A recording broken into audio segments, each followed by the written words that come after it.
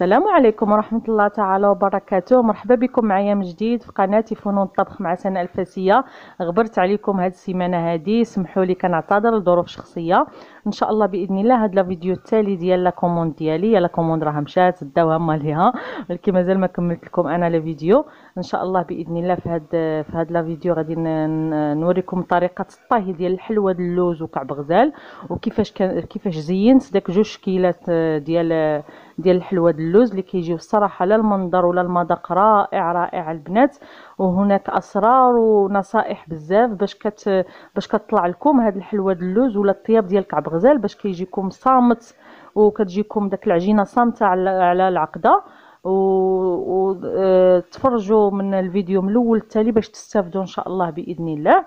دابا إن شاء الله بإذن الله نخليكم مع الطريقة والمقادير.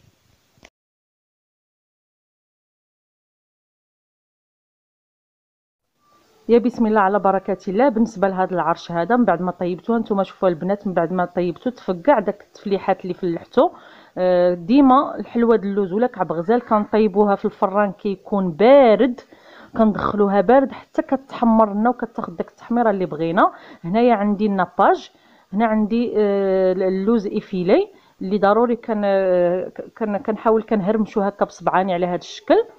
في هذا الشكل هذا ضروري خصنا نكونوا مهرمشينو. من بعد ما خرجتها من الفران سخونة البنات كندهنها بال nappage على هذا الشكل. وهي سخونة باش كيتثبت لنا وكيقبط لنا داك ال nappage وكيبقى كيبري. كندهنها البنات من جميع الجوانب. كان كنحاول كان كنوضع لها اللوز effilé غير من جهة وحدة على هذا الشكل. كنزينها كتجي واحد المنظر الصراحه رائع فيها. صافي. كنولي. كنولي كنكمل الحبات كاملين اللي عندي على هذا الشكل البنات. كندهنهم بال nappage وهما سخانين واخا شويش راه كيضرونا في اليدين ولكن ضروري هما سخانين باش كيتثبت لنا وكيقبط لنا داك ال nappage مزيان عليهم على هذا الشكل واللي ما بغاش يدير اللوز effilé يدير كاوكاو effilé و حتى هو زعما حتى هو كيجي لذيذ مزيان ولكن هاد اللوز effilé راني حمرته من قبل ضروري باش تحمروه شويش من قبل. صافي دابا غنستمر هكا حتى نكمل الكمية كاملة اللي عندي وغادي ندخلهم الفران. وهو هو هو طفيت عليه ولكن هو سخون كنخليه واحد 10 دقائق على ما كيتثبت فيهم داك ال nappage وكنخرجوه. بالنسبة للشكل التالي هو هو مازال سخون راه كيحرقني في يديا نتوما كي كيجي شكل رائع وكتجي داك العقدة كتجي داك العجينة صامتة على العقدة. صافي حتى هو كندهنو بنفس الشكل الشكل الأول بال nappage من جميع الجوانب على هذا الشكل البنات. ضروري باش دهنوه هو سخون هذه راه نصيحة باش كي باش كتثبت لنا فيهم داك داك ال nappage وكيبقى كيبري واخا ما عرف شحال يبقى على برا ما كيوقع له حتى شي حاجة. عندي بالنسبة للتزيين عندي هنايا هاد الحبيبات هادو هاد العقيقات اللي في ال doré. عندكم الاختيار بالنسبة ل... بالنسبة للتزيين هانتوما البنات. حتى هو غادي نستمر غادي غادي نكملو كامل وغادي ندخلو حتى هو الفران هو الفران بحال طفيت عليه راه مازال سخون. كندخلهم الفران كنخليهم واحد لمدة 10 دقائق على ما كيصمت عليهم داك آه، داك الناباج. هانتوما البنات من بعد ما خرجتهم زينتهم وضعتهم في داك في داك الكويرطات مدورين كويرطات هكا على هكا كحل باش باش كيبينوا لنا الحلوة.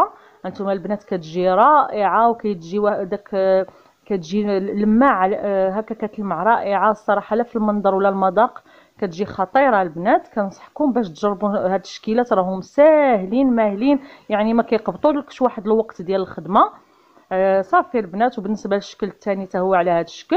حتى هو منين خرجته درتهم في الكويرطات ما درتهمش كويرطات طوال ديروهم في الأحسن في الكويرطات مدورين. آه كيجي المنظر ديالهم حسن. الكويرطات طوال ما كيجيبولهمش المنظر ديالهم زوين. هكا على هذا الشكل هكا البنات. كيجيو خطيرين الصراحه في المنظر. ملي كيتست في البلاطو كيجي روعة روعة روعة البنات. آه كنصحكم البنات الصراحه باش تجربوا هاد الشكيلات اللي الصراحه ساهلين ماهلين. بالنسبة للمبتدئات يمكن لهم يصوبوهم. وكيجي صراحة الشكل ديالهم رائع.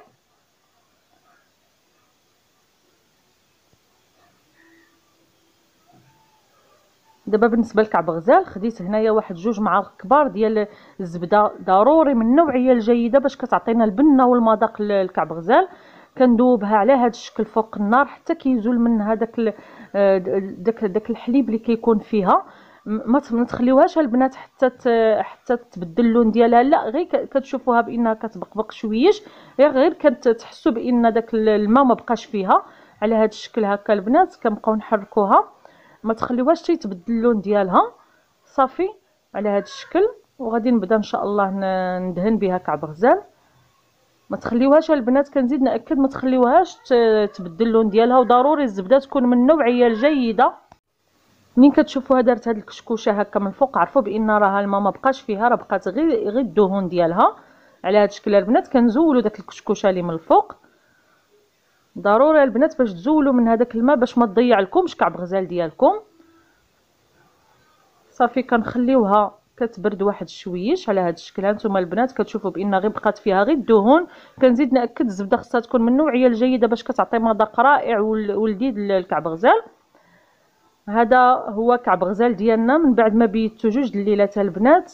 حتى كتبقاو تضربوا عليه وكتسمعوا داك التقرميشة ديالو يعني كتصمت داك العجينة فوق فوق داك العقده نتوما الشكل كيجي رائع ومبهج وبريستيج يعني بالنسبة لداك لذاك النقش راه ساهل للمبتدئات راني وبينت لكم في الفيديو اللي قبل منه بطريقة بطريقة جد مبسطة. يعني ضروري آه، علاش علاش ما علاش ما نقشوش ونزينوا كعب غزال ديالنا؟ يعني بواحد الطريقة سهلة.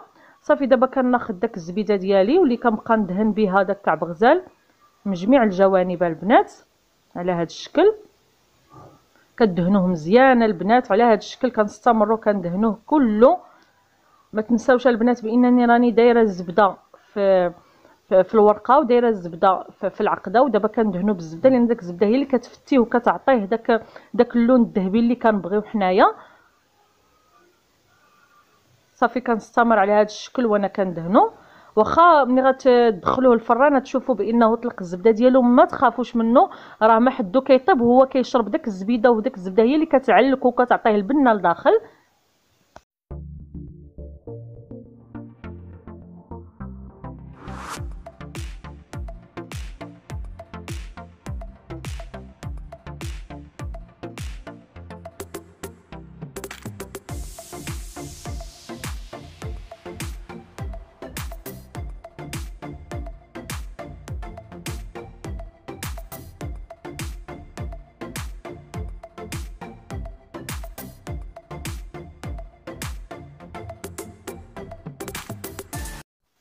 من بعد البنات ما دهنتو على هذا الشكل استفتو في اللاطه ديالي.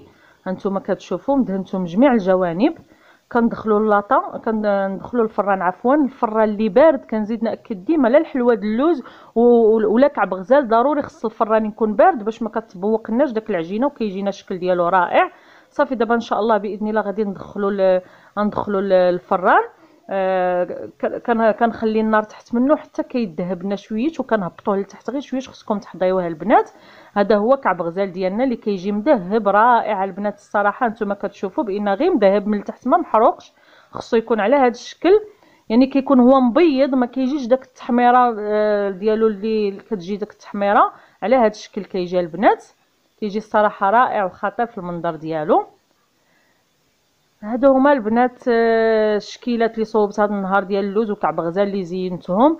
كنتمنى البنات إلى عجبكم les vidéos ديالي ما تبخلوش عليا ب j'aime و commentaire وشاهدوا les فيديوهات ديالي وبارطاجيهم على الاهل والأحباب لكي تعم الفائدة. وبالنسبة للبنات جدادي مازال ما اشتركوا في القناة ديالي اشتركوا لأن القناة ديالي غنية ب بنصائح ولا في الطبخ ولا في الحلويات وغادي يستافدوا إن شاء الله بالنسبة للمبتدئات ولا البنات اللي كيبغيو يديروا واحد الحرفة في دارهم لما لا. أنتم البنات كتشوفوا كعب غزال ديالي من بعد ما من بعد ما استفتو نتوما كيف كيجي الصراحة رائع وراقي. هذا هو كعب غزال الفاسي اللي اللي تعلم اللي تعلمته لا من جداتي ولا من ولا من ماما جداتي الله يرحمها ولا من ماما الله يخليها لي.